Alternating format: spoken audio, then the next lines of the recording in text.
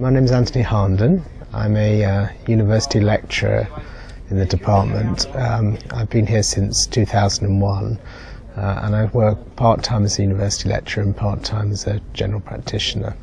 In early 2009, um, a general practitioner colleague and myself came up with the idea of a, a series aimed at doctors for diagnoses which are easily missed in general practice. The first article that we uh, did um, was on whooping cough. Whooping cough is a nasty illness for adults and children. It causes a cough which comes in paroxysms, which keeps children awake at night, which keeps their parents awake at night.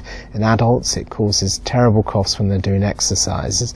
And the key thing about whooping cough is it lasts for a long time.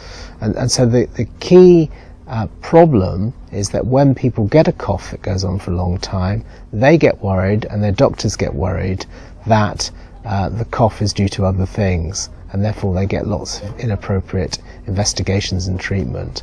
Until we did our research, the only test that was really available was a blood test or a very deep swab that had to be taken within the first week or so of coughing.